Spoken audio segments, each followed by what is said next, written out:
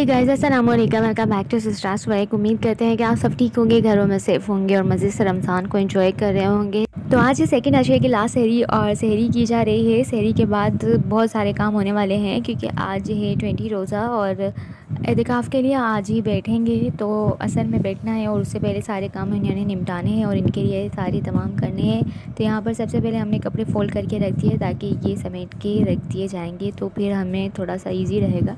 और साथ ही में इफ़ार की तैयारियों में यहाँ पर काले चने भिगो कर रख दिए हैं ताकि ये अच्छे तरीके से नरम हो जाए। और ये मूँग की छिलकों वाली दाल है जो अच्छे तरीके से नरम हो गई है और अब हम इसे पीस लेंगे। तो यहाँ पर हम सिल बट्टे पे से पीस रही हैं। तो इसके हम बनाएँगे पकौड़े। इसके पकौड़े बहुत ज़्यादा मज़े के बनते हैं। तो आप इसे ग्राइंडर में भी पीस सकते हैं बट उसमें जो है ना, इसका बिल्कुल फाइनली पेस्ट बन जाता है तो वो उसका पकौड़ों में मज़ा नहीं आता। तो आप सिलबट्टे पे पीस के ज़रूर ट्राई कीजिएगा। तो इसके बड़े मज़े के पकौड़े बनते हैं। तो यहाँ पर अम्मी बस पीस लेंगी तो एक बॉक्स में मैंने इसे डाल दिया है। और इसे अब हम रख देंगे रेस्ट के लिए। और फिर हम इसके पकोड़े बनाएँगे तो फिर बाकी की चीज़ें इसके अंदर ऐड करेंगे। तो यहाँ पर छोले भी अच्छे तरीके से नरम हो गए हैं और फूल भी गए हैं अपनी साइज़ में तो हम इसे बॉइल कर लेंगे।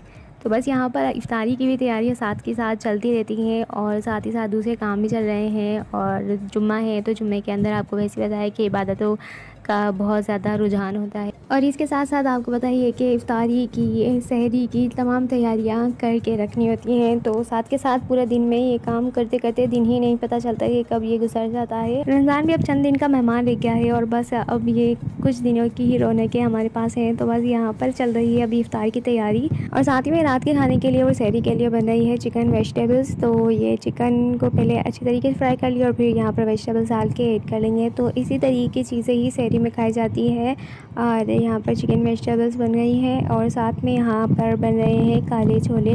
तो ऑयल डाल दिया है और इसके अंदर ऐड कर दिया है कड़ी पत्ता और ज़ीरा। काफ़ी दिनों बाद बल्कि रमज़ान में पहली बार ये काले चने बन रहे हैं और ये फ्राई ही काले चने बनाए जाते हैं और इसका टेस्ट बहुत ज़्यादा मज़े का होता है। तो हमारे यहाँ अमूमन इस तरीके के ही काले चने खाए जाते हैं। आप बहुत सारी वैराइटीज़ हैं इसे बनाने की। बट इस तरीके के शेप बनाने में इसका टेस्ट जो है ना बहुत ज़्यादा मज़े का लगता है। तो बस यहाँ पर बाकी की प्रिपरेशन हो रही है, इमली डाल दी है कुटी हुई लाल मिर्च, नमक और फिर हमने इसे मिक्स कर लिया है और इसे थोड़ा सा पका लेंगे। तो हमारे यहाँ बिल्कुल सिंपली इस तरीके से इसे बनाए जाते हैं और आप लोगों के किस तरीके से बनाए जाते हैं आप ज़रूर कमेंट सेक्शन में बताइएगा। तो चले तैयार है, बस इसे पाँच मिनट तक हम दम पे ही रखेंगे ताकि तमाम जो मसाले हैं वो एब्जॉर्ब अच्छे तरीके से हो जाए। चिकन वेजिटेबल्स भी रेडी हो गई है और इसके बाद यहाँ पर बस असर का टाइम भी हो चुका था और अब था, वक्त ये इनको अलविदा कह दें। तो बस ये एंड में हमसे मिलते हुए और दुआओं में याद करते हुए दुआ कहते हुए बस हमने इन्हें रुखसत करना था। और लास्ट में बस इनके लिए यहाँ पर पर्दे का तमाम किया हुआ था और बाकी तमाम चीज़ें इनके लिए प्रिपेयर करके रख दी थी। तो बस यही इनकी तैयारी थी और फिर अब हम इन्हें मिलेंगे चाँद रात पे। हाफ़ काम डन हो चुका है और अब हाफ़ काम रह गया है तो यहाँ पर बस छोले भी डन हो गए हैं। बाकी की चीज़ें इसके ऊपर ऐड करनी है तो वो बाकी लास्ट में ऐड करेंगे। तो बस अब मैं फिलिंग तैयार कर रही थी चिकन डिश के लिए। टाइम इतनी जल्दी गुजर रहा था कि मैं बस कह रही थी कि टाइम थोड़ा सा और रुक जाए बट ये कि टाइम अपनी जल्दी जल्दी गुजरता चला जा रहा था और काम ये कि ख़त्म ही नहीं होके दे रहे थे तो बस यहाँ पर फिलिंग भी तैयार की जल्दी जल्दी और इफ्तार की तैयारियाँ अपने अरूज पर ही और बस अब यहाँ पर बनेंगे दाल के पकौड़े। तो दाल के पकौड़ों के लिए हरी मिर्चें, नमक और पकौड़ों का मसाला इसमें शामिल कर देंगे। धनिया, पुदीना और कुटी हुई लाल मिर्च वगैरह, जो भी मसाले हम आम तौर पर पकौड़ों में ऐड करते हैं, वही सब इसमें ऐड करेंगे और फिर इसे अच्छे से मिक्स करने के बाद अम्मी इसके पकौड़े बना लेंगी।